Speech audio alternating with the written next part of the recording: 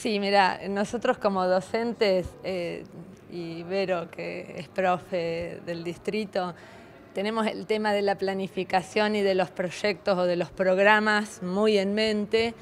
Y bueno, desde las primeras visitas que, y de las primeras oportunidades que nos dio Verónica de, articular educación con, clínicas o con la posibilidad de ver nadadoras que nos representan a nivel internacional, eh, pensar cómo desde el sistema educativo eh, acompañamos y también qué propuestas podemos eh, proyectar para que desde las escuelas primarias estamos pensando eh, ya al corto plazo, a partir de un congreso de educación y de ver una propuesta que es de Gustavo, anoche me enteré que, fue uno de los que la implementó en San Martín, empezar con los cuartos años de primaria, eh, dos estímulos semanales de prácticas acuáticas. Esto nos va a permitir que Junín empiece a trabajar con la formación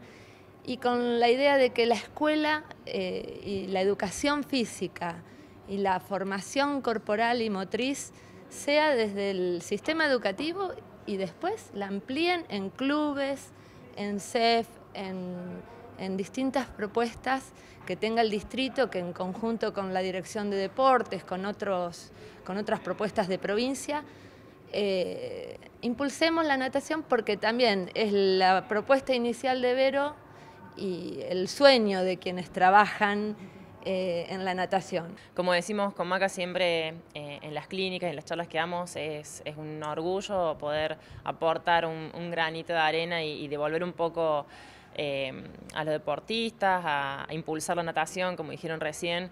Eh, también en, estos lugares y devolver un poquito lo que nos dio este deporte que, tanto nos gusta hacer a nosotras.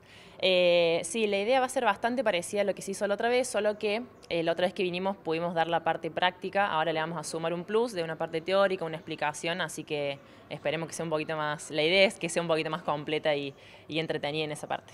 Bien, bueno, ¿tu parte Macarena? Sí, no, lo mismo, por ahí es eh, un poco por ahí también remarcar el que para la parte de fundamentos, de la enseñanza, no necesariamente se tiene que ser un entrenador de alto nivel, no se necesita un nadador que ya esté en la selección ni nada, se arranca desde la edad formativa y un poco hacemos mucho hincapié en eso. Bien, van a estar trabajando a la par con Gustavo. Sí, sí, sí, nos vamos a combinar. Verónica, queda por último agregar algo de lo que han dicho las chicas, lo que ha dicho Florencia también. Sí, no, eh, siempre mi mirada fue la misma, que mi ciudad y mi región tenga la posibilidad de tener un semillero y para tener un semillero uno tiene que tener las herramientas y creo que cuando uno va a la fuente lo mejor es ir al número uno. Eh, que es el entrenador a nivel nacional, y cuando miré a Gustavo, ¿por qué no mirar? Ellas son formadoras también de la natación y tienen las dos vivencias, eh, son atletas de elite nadadoras elite que nos representan eh, cuando, a nivel nacional e internacional hace mucho tiempo y a su vez tienen la mirada de la formación que pueden captar a, futuros nadadores que, que le damos esta posibilidad, al menos en mi región. Así que feliz de que todos me dicen que sí, por el momento. Aparte la convocatoria, eso también es, un número muy importante. Sí, sí, sí. Bueno, sí, pero bueno, uno hace muchos años que está trabajando y por ahí cuando uno muestra eh, cierto respeto por el otro y por el trabajo del otro y trae propuestas serias y se compromete, creo que por ahí es fácil que te digan que sí. Porque uno no es que el que sabe, uno es el que gestiona, traen a los que saben. Y yo estoy acá para seguir aprendiendo, eso se los puedo asegurar. Bueno, el hecho de capacitarse también es muy importante porque todo avanza hoy en día y el deporte también, o sea, no es algo que se queda estancado. Claro, el deporte es terrible lo que avanza. Todos sabemos que después de un Juego Olímpico, si hay un récord eh, mundial, ahí se vienen todas las reformas porque la mirada es sobre ese récord y ahí nos tenemos que adaptar.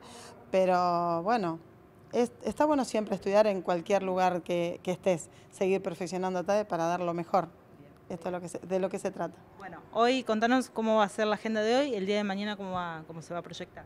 Mira, hoy tenemos una parte teórica que la está dando en este momento, lo abandonamos a Gustavo. pero las chicas también eh, participan, va a haber eh, un ping-pong de preguntas y respuestas con las chicas, una entrevista entre eh, los profes que son de acá de Junín y la región y le van a hacer preguntas a las chicas sobre sus vivencias. también tenemos a Juan Moraga, que fue nadador que nos representó a nivel país, pero que también es de nuestra localidad, que están en la parte de, ¿cómo es? de natación, acá tanto Diego Cuadrado en el municipio y en el CEP 55 con predadores. Mechi, la presidenta eh, del, Club Junín siempre nos apoya, nos dice que sí, eh, nos, presta, eh, nos presta su casa y que siempre la tiene impecable. Así que, bueno, decir también gracias a toda la gente que nos acompaña en este, en este camino, en esta capacitación. Sí, la verdad que una vez más, Junín siempre nos, nos, atrae, digamos, es como un imán que vamos a volver siempre. La hospitalidad y la atención con la que nos reciben en Junín eh, dan ganas de nunca irse. Es, es, es, un lugar que ya nos sentimos parte de Junín. Bueno, recién hablábamos con las chicas y decía, bueno, esta, esta, clínica va a tener un plus, va a haber algo nuevo. ¿Qué podemos saber de eso? Bueno, en realidad vamos a subir un nivel. Eh, las dos clínicas previas que vimos eran una orientada hacia la enseñanza. Este año cuando vinimos era cómo enseñar a nadar y cómo era la actualización en las técnicas de nado. Tanto lo vimos en teoría como en práctica. Y en práctica, en la última que hicimos, eh, trajimos varios nadadores de, selección de distintas categorías, empezamos, hicimos un entrenamiento y em, explicar el entrenamiento tanto en teoría como que lo dimos rápidamente, pero que ya abrimos la puerta para el próximo nivel, que era hablar precisamente de entrenamiento de natación y con actualización en el inicio del entrenamiento de natación. Así que bueno, un poquitito es eh, esta vez más orientado hacia el entrenamiento, si bien no va a ser tan de alto rendimiento, sí para, para grupos de edades y que los profes aprendan a cómo introducirlos en el entrenamiento de natación. Acabas de darme el pie porque te iba a preguntar qué pasa con los diferentes niveles de educación y bueno, esto estás mencionando. Si bien no va a ser un nivel muy olímpico, dijiste, si no me estoy equivocando. Alto rendimiento. Alto rendimiento, esta. Eh, bueno, se va a poder aplicar a todos los niveles de educación. Sí, la idea es que el profe no quede solamente con la parte formativa, que el profe pueda pasar un nivel, porque después cuando se encuentra trabajando en una pileta, la parte formativa dura cuatro meses en natación. Al cuarto mes ya empiezan a trabajar aeróbicamente y a desplazarse. Entonces, que no sea solamente ir y venir en la, pileta, en sino que realmente empieza a formarlo y a entrenarlo como si fuera un futuro atleta. En realidad es algo que eh, complementar un poquitito lo que reciben en un profesorado de educación física o en un instituto de formación docente. Subir un nivel eso y actualizarlos en lo que es el inicio del entrenamiento, que lo pueden hacer, en este caso, natación pero en un gimnasio, en un, en un estadio multifunción o en una pista de atletismo. Bueno, consultar también cómo tomás que gente de la región venga a capacitarse, escucharte a vos, ¿no? Una palabra mayor para quienes conocen de natación, eh, cómo tomás, ¿no? Que se vengan hasta aquí y bueno, se lleven todo este conocimiento. Para mí es un compromiso muy grande, es obviamente un honor y un orgullo estar en, circunstancialmente en este rol de, transmisor o de por lo menos de referente, pero es un compromiso muy grande porque un poco como les decíamos recién en la introducción a los profes, la idea es plantar una semilla, inspirar a algún profe y darle las herramientas para que mañana sea mejor profesional. Si subimos el nivel profesional de todos los docentes argentinos, la educación va a mejorar, indefectiblemente.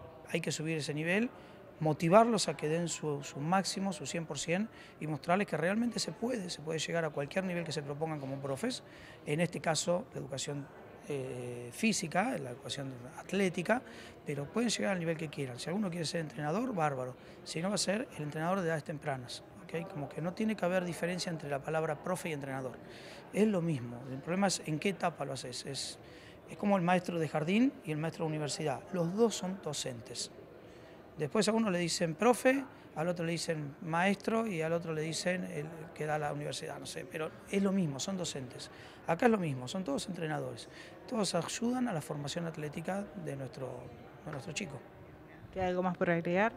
Bueno, obviamente que esto no, no, no, no sale solo, esto es una, como decíamos la otra vez, ¿no? es como que se alinean los planetas. En Junín está todo alineado para que funcione, no puede fracasar. Tenés el, Ministerio de Educación a través de, Florencia Rato y, Educación este, Física eh, de la provincia, el, el, municipio a través de Claudio y bueno, la bajada del intendente que le da ese respaldo. La parte logística, operativa y de tracción a cargo de Verónica Larregina, que es un motor y tracciona y es imposible pararla. Es como que está todo alineado, todo alineado para que funcione. Los clubes apoyando, los profes sentados queriendo aprender. Todo eh, eh, se, alinea para que esto funcione. Entonces no hay manera de que falle, Junín tiene todo para triunfar en ese sentido.